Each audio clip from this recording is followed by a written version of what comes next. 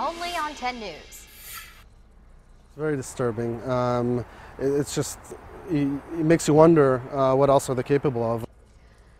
A stranger creeping through an upscale neighborhood trying to get into cars as you see here. 10 News reporter Michael Chen found out that neighbors say this is a symptom of a bigger problem and they are fed up.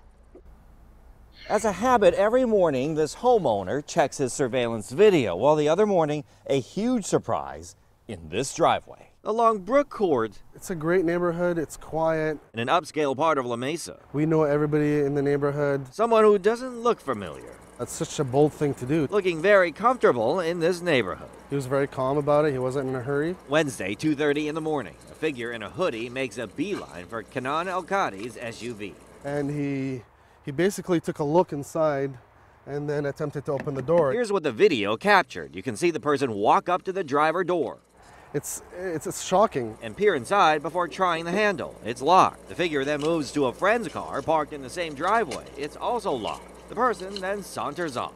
I don't want to say I felt violated, but uh, it, it, you know, it does. You do go through a bunch of emotions. He's hardly alone. On the app Nextdoor, other neighbors living blocks away reported someone broke into their cars. They woke up in the morning and saw that their cars had been ransacked. Those neighbors still trying to figure out what, if anything, was taken.